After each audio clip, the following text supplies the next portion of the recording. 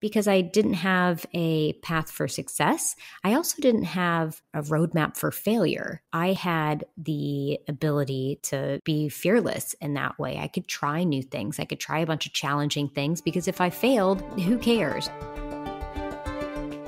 Hello, I'm Sue Nelson, and welcome to the Create the Future podcast, brought to you by the Queen Elizabeth Prize for Engineering, celebrating engineering visionaries and inspiring creative minds. A degree in engineering can lead to any number of careers and specialisms, or, in Emily Calandrelli's case, two degrees in mechanical engineering and aerospace engineering from MIT, as well as two masters in aeronautics and astronautics engineering and technology and policy. This background, as well as numerous academic awards, has led to her inspiring others into STEM through media and communication. She does this by, among other things, writing children's books and as a TV host, including the Emmy nominated series Emily's Wonder Lab for Netflix and Xploration Outer Space, which has been running since 2014 and is syndicated by Fox across the United States. Before we get into the TV presenting and books, Emily, what was it that inspired you to study engineering? My introduction to engineering was uh, very practical. I have a lot of peers who have beautiful stories of, you know, looking up at the night sky when they were kids or having a, a family member that was a scientist or an engineer. But for me, I was a high school senior and I wanted to get a good job that made good money. And so I looked up all of the majors that one could major in in college and I looked up their starting salaries. And on the top of those charts was engineering. And so I kind of reluctantly joined this field thinking, oh, it's going to be so hard. It's going to be really boring, but I'm going to end up with a good job in the end and make my family proud. And then once I got there, once I got into university and started studying engineering, I learned a few things. I learned that I was good at it, and I learned that there are so many adventures that one could have if they studied engineering and science. I was able to travel the world through science and research internships. I was able to live in California and I worked at NASA centers. I was able to do research on board NASA's Vomit Comet and fly weightless like an astronaut. I was able to travel to Mexico through Engineers Without Borders and help solve problems there using the engineering that we learned in the classroom. And so my story is sort of one of reluctantly joining it and then enthusiastically becoming obsessed with it along the way. That's really interesting because it's quite a practical approach, which a number of, of people do do. They consider other careers specifically for that reason. It's just that you don't often hear the sort of attractive salary prospects being mentioned right. as a reason to go into engineering.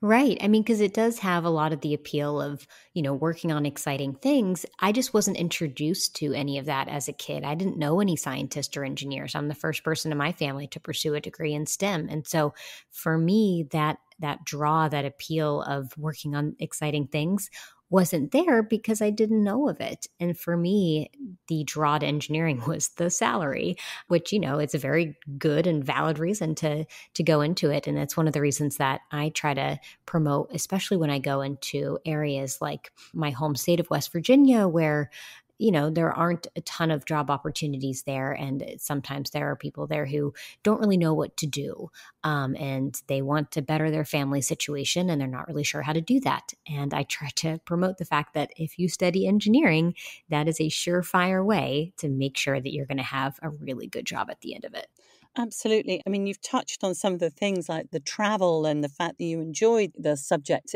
in itself. What was it about MIT as well as a sort of place to study? I mean, I have been there and I know it's rather beautiful. Did that sort of add to it, or was it just being engrossed in the subject itself? So I went to West Virginia University for undergrad and I did very well there in engineering. And for me, I just thought, okay, well, I, I learned how to do really well at the school in my home state. How can I take this further? And so I took kind of a shot in the dark and thought, all right, I will apply to the best engineering university in the world. and see what happens. And I got accepted. And so it was just, it was an opportunity to see what it would be like to go to the best university in the world for engineering. And it was wonderful. I mean, the professors there are truly miraculous. They are often astronauts. They are the top in their field. They you are learning from the best. And it's a very Eh, wonderful place to be obviously because it's it, you're learning from the best but it's also a very intimidating place to be because everybody around you is the best of the best. And it certainly makes you you know be very introspective and and think about your own qualities and whether or not you deserve to be there. And it and i think that it challenges you to the point that you know you've never been challenged in such a way before. And for me that was a really important experience for my growth. And I'm very lucky and thankful that I had the opportunity to go there. How many women were on your course? Actually, at MIT, I, I, don't remember women being necessarily a minority in the program. I'm sure that we didn't make up half of the program, but we made up a much higher percentage than when I was at uh, where I was at in undergrad. The vast majority of classes in undergrad, I would be one of maybe two or three women in a 50 person class. At MIT, I think because you just have so many people applying there, it is much easier to uh, attract the top women in the world to that program. Is that what inspired you particularly into championing girls and women into science and STEM subjects? Yeah, definitely my experience in undergrad definitely inspired me to try to inspire more girls to pursue it because I think when you are walking into a room where the vast majority of people do not look like you, you assume that you have walked into the wrong room.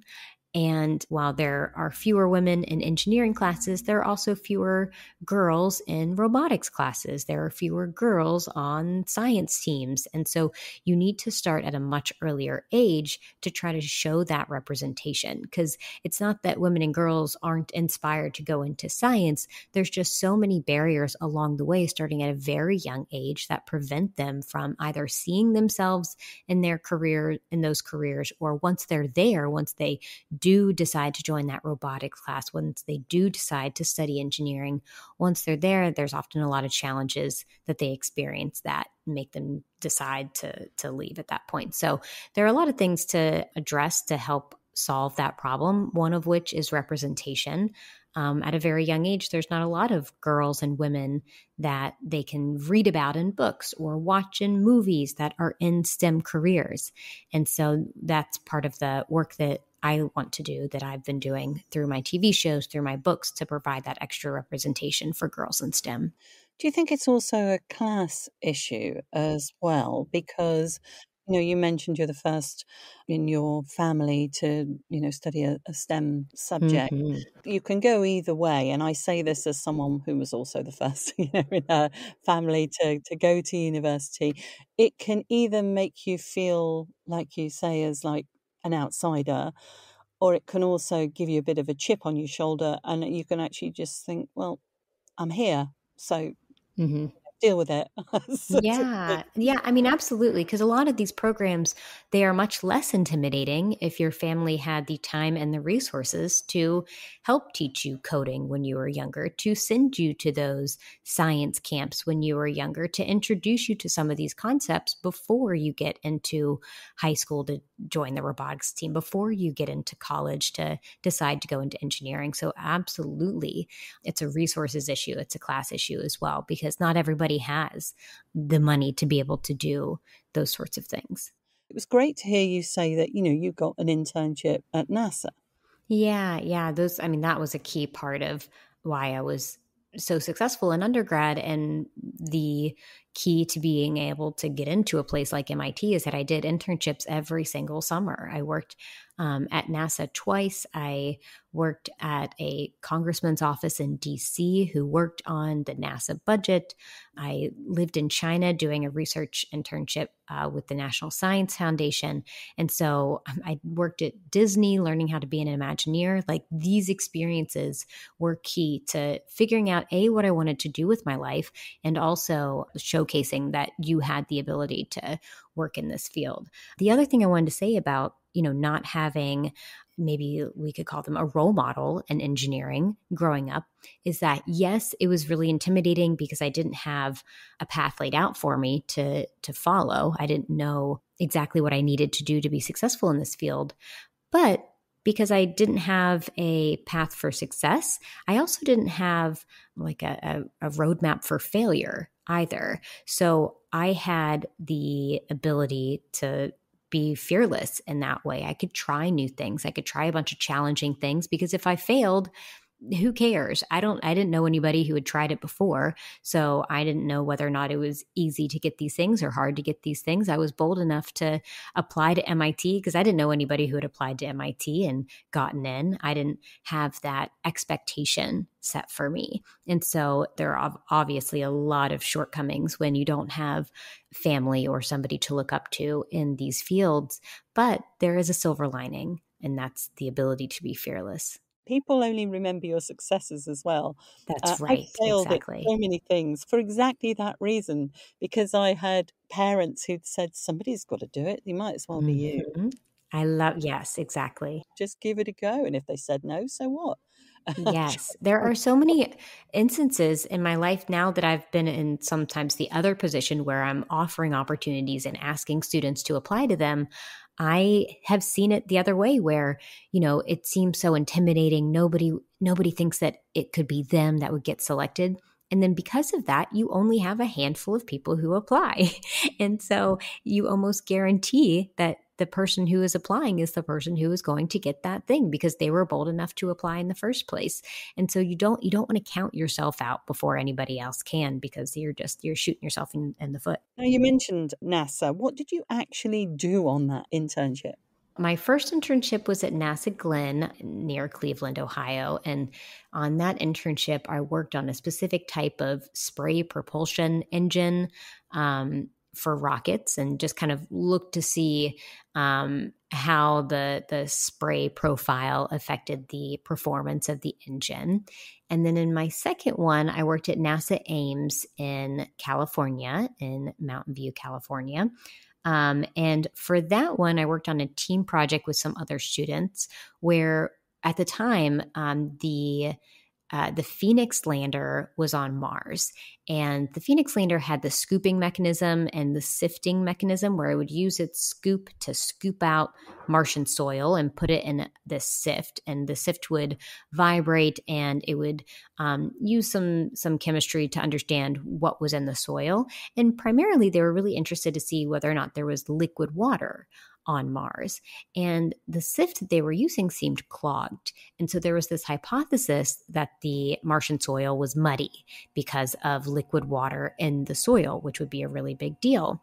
And so one of the ways that we tried as students to figure out if, if that hypothesis could be valid, could be true, was we recreated um, that sift and soil experiment here on Earth and put it under different temperature conditions, vacuum conditions, salt conditions, water conditions, and tried to recreate what was happening on Mars.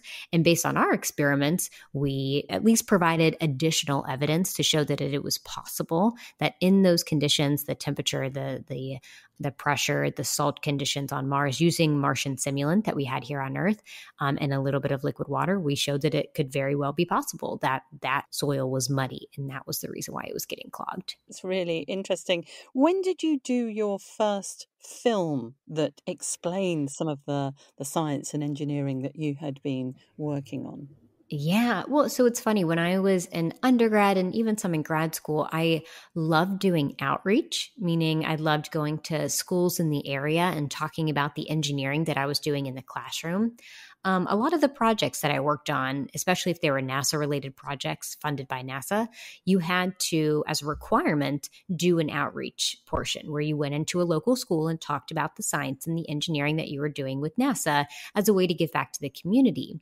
And that part of the project is something that I always volunteered to be in charge of because I loved, I've always loved talking to young students and kids um, about science and engineering. I find it to be a really unique challenge to be able to explain things in a way that somebody without the proper background could understand. And so I've always loved doing that and I've practiced that for a really long time. And then when I graduated from um, MIT, they had seen some of the press that my undergrad did about me because um, I was one of the only students to major in a couple different engineering majors and get a 4.0 and win these national scholarships. And so they had done a lot of press on me and a lot of video interviews with me. And so when I was graduating from MIT, I got a call from a production company that had come across some of these articles and they asked me, Do you want to be the host of our next space show?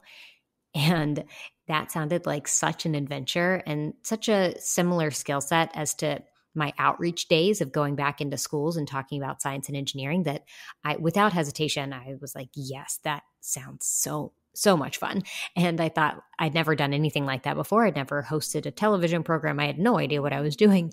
And but I thought you know if this doesn't work out if this doesn't pan out I have 4 degrees in science and policy to fall back on I think that I'll probably be okay. And that show was now nine years ago. It's been on for almost a decade. That was Xploration Outer Space.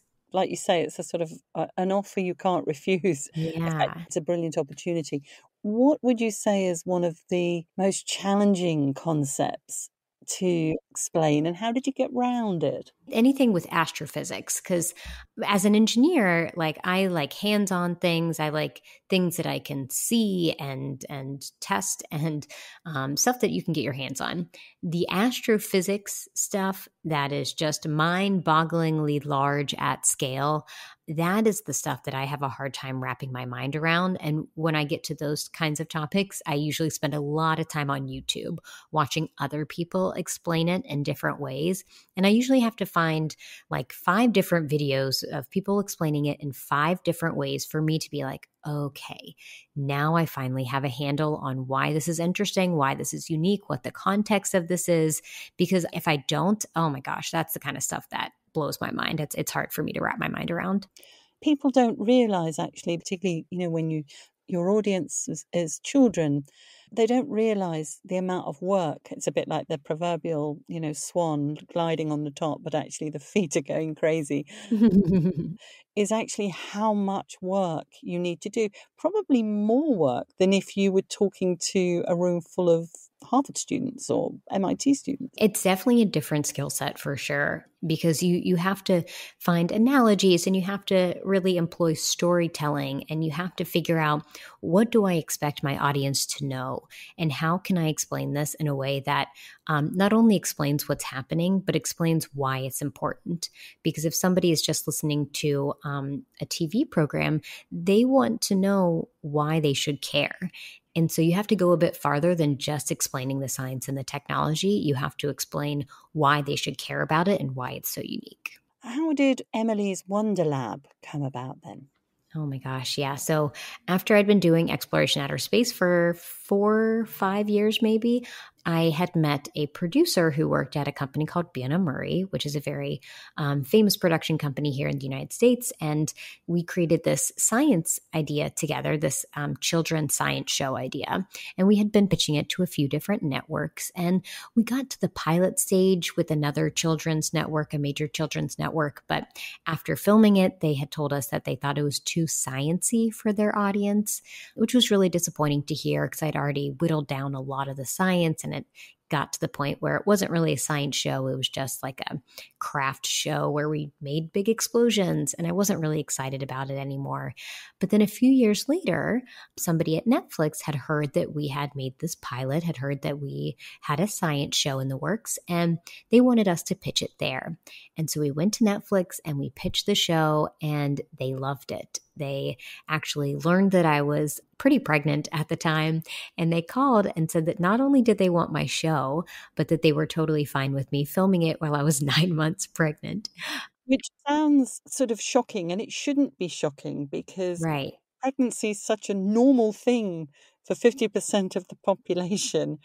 And yet you do see very few women pregnant on TV unless they're being interviewed. Exactly. Yeah. I think growing up for me, when I saw um, pregnant women on TV, it was mostly about them being pregnant and them preparing the nursery and talking about labor. And it was like, I, I had this idea in my mind that once you're pregnant, all you do is sing to your belly and paint a nursery, and that's all. you sit and wait for the baby to come. But Uh, for the reality for so many people who get pregnant, they continue to work. They work oftentimes up until the baby comes, which, you know, we could argue whether or not they should have to do that, but a lot of us do anyways. And so it was really nice to be able to provide that representation for little kids who are watching. I had a lot of families say that they, especially their little girls, would watch and be like, she's a mommy and a scientist. Oh. And because when you're really little, a lot of times, you know, the role model that you see in your life are your parents. And the first job that you think about having is being a parent and having a baby. And so for a lot of these little kids, the thing that they want to be so badly right now when they're like five years old is they want to be a mommy. So now this representation, they can watch us and be like, oh, I can do do both. And I think that simple idea can be just so transformative. Now, now you, as you said, you were nine months pregnant, so you gave birth to your first child just a few weeks after. Yes, after exactly. Uh, you finished filming, effectively. So during the pandemic, you had a young baby. Yeah. Uh, you, and I saw and, and rather loved them that you did a, a, an awful lot of films from your looked like your living room. Was that a sort of deliberate decision to stop yourself going totally mad? Or did you just know this is something, you know, I love doing it, I'm just going to keep on? Oh, uh, that was exactly, I mean, part of both of those things, I think. But during the pandemic, a lot of my work involves travel. I would travel to film, I would travel to do speeches. And so, because of the pandemic, a lot of my work was canceled. And so, I was stuck at home without much to do. And I thought, well, what am I going to do with my time?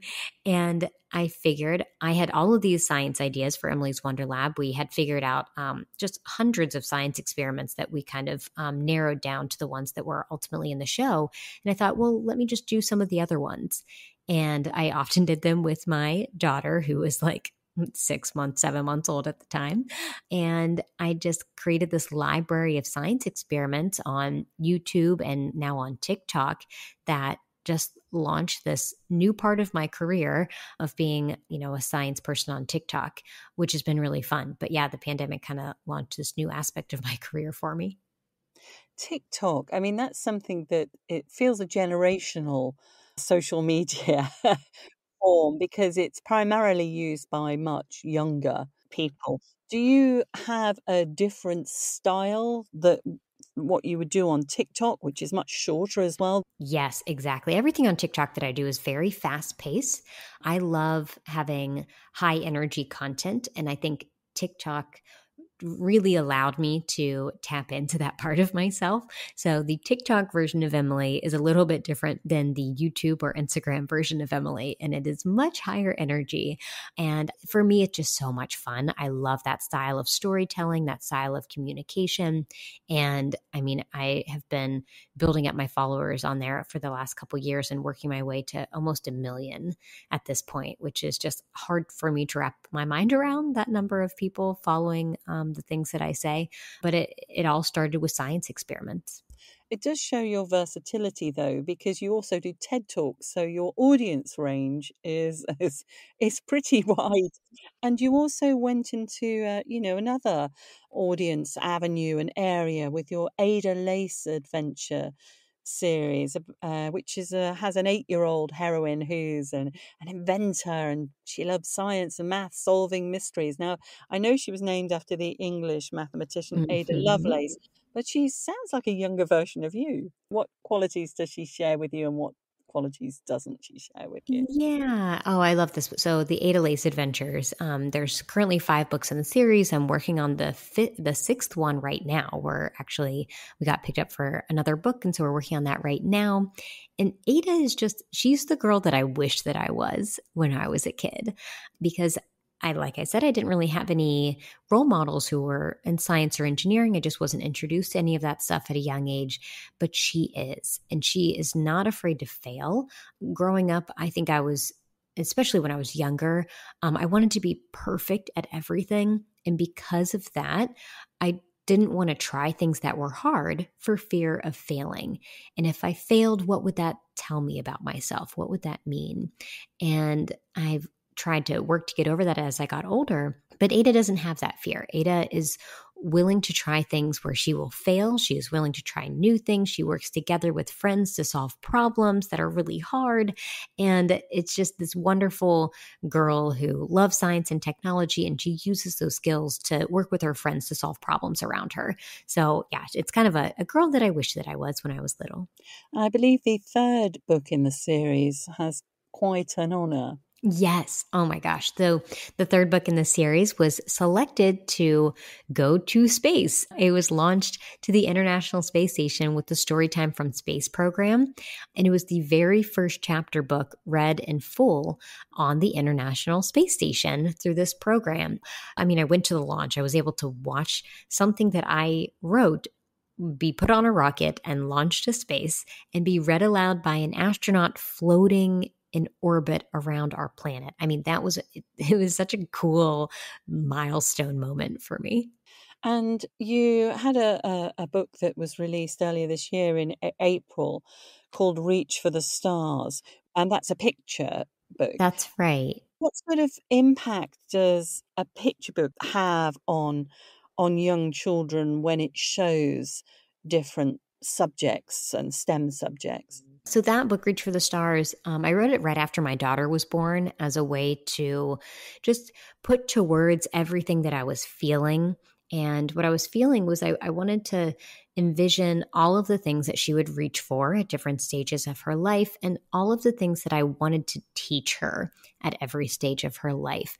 And so the book follows this baby, this little girl, from newborn phase all the way to the phase where they are a grown up and they leave home to you know travel the world go to college they they leave the nest um, and every stage in between. What about the ada lace series. Has oh, yes. anyone got in touch with you to say that I'm now considering a career as an inventor or an engineer or a scientist? Oh, all the time. I mean, when I have book signings for the Ada Lace series, I'll have kids come up to me dressed as Ada Lace and they'll have these NASA shirts on and they'll just be they're they're so excited to show me that they read the book and they love science. They want to be just like Ada Lace.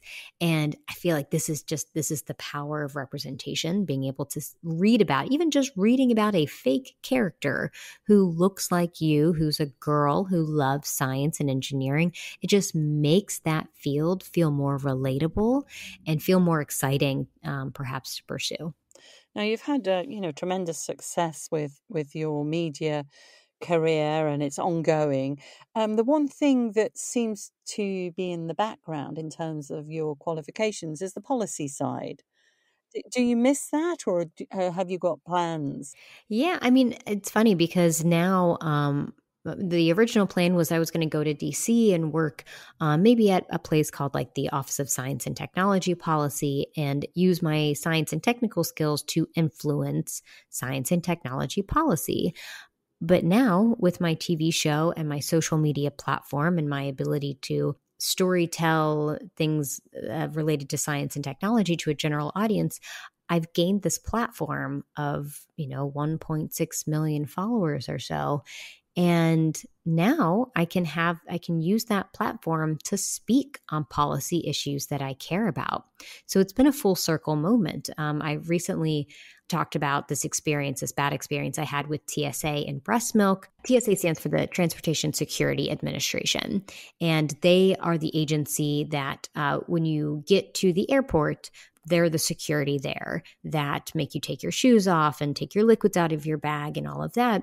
And on the TSA website, it says very specifically that you are allowed to take as much breast milk through security as you like, as you need for your child. You can take cooling equipment to keep it cool. And then they they confiscated my cooler packs. They made me check them, which meant that I wasn't able to pump um, before my flight and keep the milk cool. And so, anyways, I, I, tweeted about this experience. I shared it on social media, and I just had this groundswell of support from my followers and other parents who had experienced similar issues. And it was so much attention because of the platform that I have that the administrator of the TSA himself had to respond in a very public way to my specific situation. And now I am working with multiple Congress members to draft a bill that will hopefully be passed that will help alleviate this problem for people in the future. In addition to the TSA experience, I have been very vocal about reproductive rights as of late because Roe v. Wade got overturned here in the States. And so now I'm using my platform to talk about why reproductive rights are so important for those of us with uteruses and push for policies and promote candidates that um, will hopefully help protect those uh, for people in different states. Would you like to go into politics at some stage? Uh, it's always a question. It's it's a maybe. I always said that if I want, if I were, I would want to go back to my home state of West Virginia because that's where my people are. I grew up there, and I I, I feel like I would want to go back there. Um, but I don't have any plans to move back right now. Um, but it's always a it's an open question at the moment. And going back to the, the engineering, I, I wondered if there's anything within engineering that, because the Queen Elizabeth Prize, you know, gives its award to all sorts of, of, of amazing inventions and, and, research. Is there anything that you've come across in engineering that you think more people should know about simply because it's so cool? Oh man, I mean, something that I am finding very fascinating is is um, space travel, traveling through space, and figuring out a way to do that faster and more effectively because uh, with the release of the James Webb Space Telescope images, we have seen just how vast our universe truly is. But the limitation there is that while we can see it, it's so far away that we can't travel to it, at least not with the technology that exists today. And there are some technologies in space that will allow us to, to go even faster, to travel faster than we have before. There are technologies like light sail that is using the pressure from light, uh, like literally just shining a light on a piece of fabric that allows um, the spacecraft to propel itself forward. I find that technology to be absolutely fascinating. And finally, younger children have got a hero in Ada Lace. Who would you say your engineering and scientific heroes are? Oh wow. I mean, for me, I I really value the ability to combine scientific knowledge with other creative skills. And so anybody who can combine storytelling skills with science is somebody that's the type of skill set that I truly admire. So people like Carl Sagan and Bill Nye, I think they are just so good. They're just masters of their craft to be able to combine storytelling and even comedy with their knowledge of science in a way that makes things that may not on the surface seem very appealing and interesting just seem absolutely breathtaking and interesting. And so those are those are definitely like my my top role models for sure. And they're great choices there. Carl sagan no longer with us of course but bill nye is a former guest on this podcast. So if anybody wants to hear an interview with him as well, just uh, look it up on your usual podcast platform. Uh, but in the meantime, Emily Calandrelli, thank you so much for joining me on the Create the Future podcast and revealing the breadth of careers that you can go into and especially how successful you can take engineering degrees onto when it comes to the media. Well, thank you so much for having me. Find out more about the Queen Elizabeth Prize for Engineering by following at QE Prize on Twitter and Instagram or visit qeprize.org. This is the last episode in season three of Create the Future. We'll be back in early 2023 with season four. And in the meantime, catch up on seasons one, two, and three wherever you listen to podcasts and tell us who you'd like to hear from next. Thanks for listening and do join me then.